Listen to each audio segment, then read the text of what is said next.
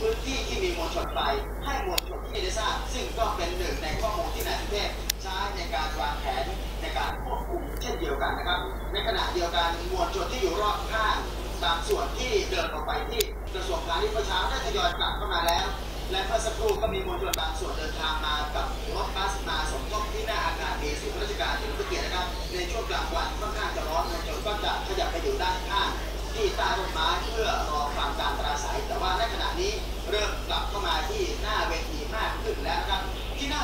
นี้ก็มีการเตรียมความพร้อมเช่นเดียวกันนะครับขณะนี้ไปดูภาพสดๆกันะครับ หลังจากที่เมื่อสักครู่ที่ผ่านมาโฆษกของเล